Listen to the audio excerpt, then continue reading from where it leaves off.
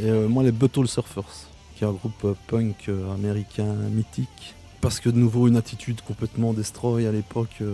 moi, je les ai vus en concert pas mal de fois en Belgique, une fois au Puckle Pop et une fois aussi avec une espèce de, je sais pas, de danseuse nue, front stage. Enfin, c'était super malsain comme ça. Et, voilà, Buttle Surfers, ça reste un truc, un ovni comme ça.